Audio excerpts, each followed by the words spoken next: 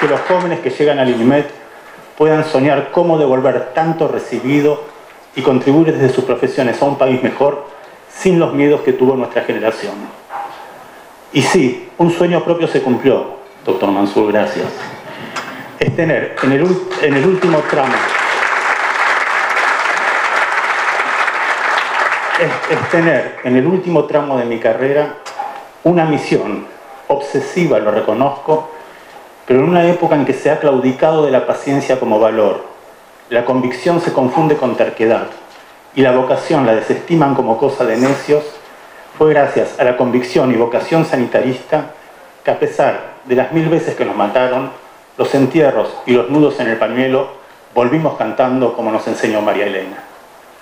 No fue una tarea fácil, ni en solitario, sino de múltiples personas que nos acompañaron con contención y trabajo, desde los albañiles a los técnicos, investigadores, administradores, personal de apoyo y familias en el quehacer cotidiano, desde las autoridades y gestores a los miembros del Consejo de Desarrollo del proyecto y los comentarios de los 1.245 referentes consultados sobre las conclusiones de ese Consejo, que permitieron la construcción colectiva multidisciplinaria, multisectorial del INMED por un mecanismo de legitimación inédito que definió su marco de trabajo en la ecoepidemiología y una salud.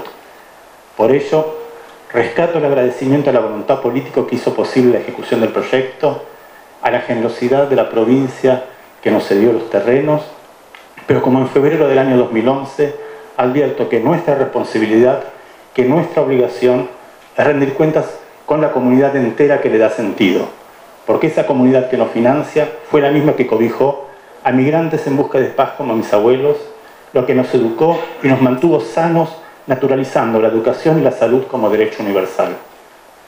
Debemos ser conscientes de cada derecho conseguido y privilegios, como el de dedicarnos a la investigación para la transferencia, acción y mejoramiento de la calidad de vida del conjunto. No hacerlo es ingratitud.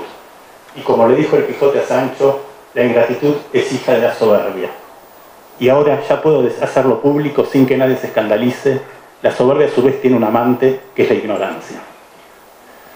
Y en este andar los caminos de la Mancha y de Misiones, también descubrí otra vez que el Quijote tiene razón. Julia, mi ancla tierra, que me levanta a la superficie cuando me hundo, me baja cuando vuelo demasiado, me empuja cuando me freno e intenta ponerme casco y rodilleras cuando corro desbocado, sabe que vuelvo a leer el Quijote periódicamente. Y sí, Cervantes se equivocó. Y el de la triste figura tenía razón. Cuando uno sale con lanza en risca a luchar por ideales, no se enfrenta a molinos. La tecnología no es peor que quien la maneja. Uno se enfrenta a gigantes. Y son los gigantes minúsculos los peores. La mezquindad, el cortoplacismo, el sectarismo, la inflexibilidad dogmática, la defensa del territorio que no va más allá del propio ombligo la autovaloración desmedida, el oportunismo de los tuyos nuestros y los nuestros míos, los odiadores compulsivos, los denunciadores seriales y los enfáticos del discurso inflado de palabras enormes pero vacías.